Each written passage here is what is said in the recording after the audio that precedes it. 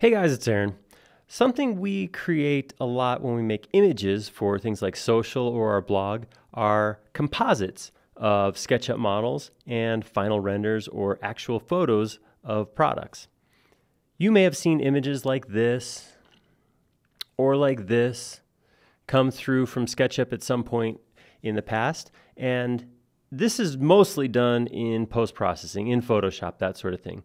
But the initial images do come out of SketchUp. So if you know ahead of time that you want to create something like this, the best thing to do is to create your scene that's going to go to the renderer, send that to the renderer, and then with that scene saved, you can go create line work to overlay, or uh, if you want to do a half and half image, you just export the PNG and you're good to go. If you ever have to work backwards, though, if you've ever had the image of a, say, a coffee table that got made and you're trying to align it to do, do an overlay with a SketchUp model, it can be a little harder to do. I had to do this recently and thought maybe you guys would like to see the process I went through to create this. So we're going to look at just that right now.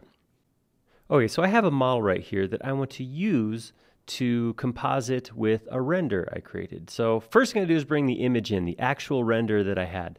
Um, so I did render this in Thea, and when I rendered it, I rendered it from a certain view that I didn't save. I didn't save it as a scene. I didn't save it as part of the model. So I got to get back to that render, the same view that the renderer used. To do that, I do have options in here for match photo or load an image, that sort of thing. But what we're going to actually use is watermark. So in here in my styles window, if I click on edit, I can choose the watermark icon and I can load an image in as a watermark. I'm going to grab the render I created. And when it first loads it in, it just throws it right in the middle of the screen and says, you know, do you want to overlay or put it in the background of the model? Background of the model, of course, is going to put it behind the artwork.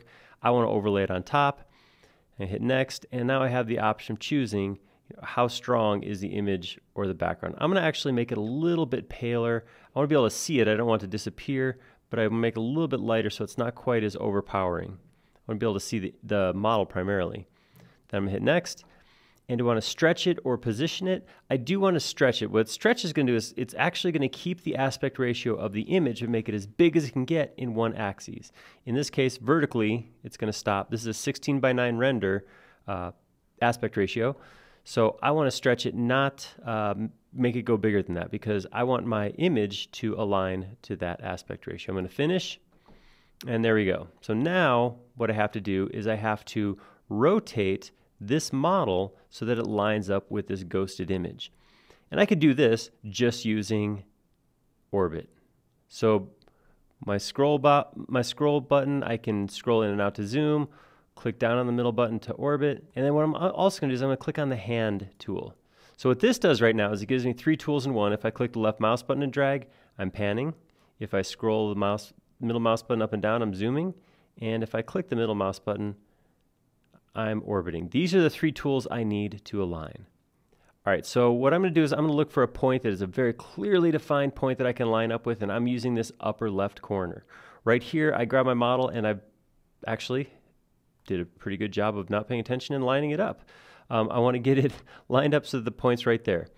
Now, this is where I'm going to start from. So I could actually from here start moving this around and trying to align, but right off the bat, almost immediately, I know there's an issue because my vertical lines almost line up, but you can see my perpendicular lines are way off.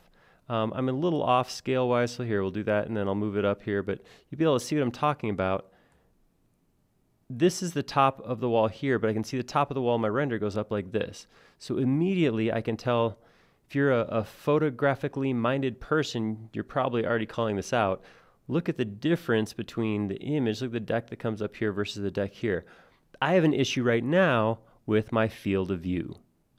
So if I come up to camera and click field of view, down here I can actually type in a field of view is different. So 35 degrees is what I'm at right now. This is obviously something that's a little bit different. So if I knew what that was, if I knew, oh yeah, when I exported this model I was at 50 degrees, I could type that in. If not, you can click and drag until you get about where you think you're looking for. So again, I'm watching this line right here and this line right here. So as I drag, I'm pretty close there. 45 degrees might be what it was at. at this point I can switch back over, grab my hand tool, move it up, and ooh, yeah, that was, that may have been it. Something close to that. If I go back into field of view, let me try typing in exactly 45 degrees. See what that does as I orbit this around, grab my hand tool, and just gonna now I'm just gonna flip between these three, these four commands, um, orbit, zoom, and pan to just try to line this up just exactly as I possibly can.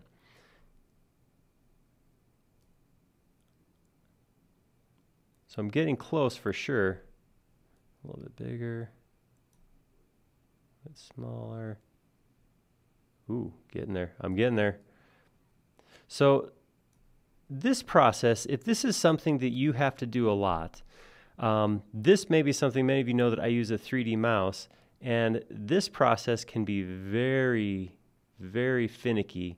And this is where a 3D mouse comes into play and really simplifies the process.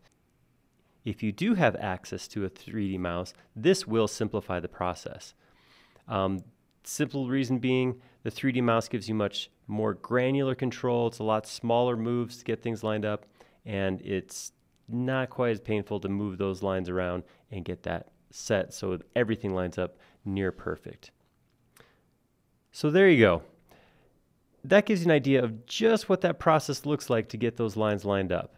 Hopefully, if you're in a situation like this, especially with a render or a photograph, you actually save your scene and can just export the photo, export the image, get it all lined up real quick and easy. If not, you can use those four commands, field of view, orbit, scale, and pan to line an image up. Once this is all lined up, I'd want to come into my watermark again, remove my watermark, and now I have that image that I could export. So here's where I could go in and say, I just want to export line work or whatever, but that I could overlay and composite on top of the original image.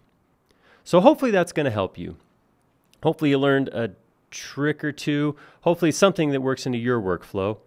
If so, go ahead and give us a like down below and subscribe. That way you'll know when the next Skill Builder video comes out. Most importantly, leave us a comment. We like making these videos, but like it a lot more when they're showing something you want to see. Thank you.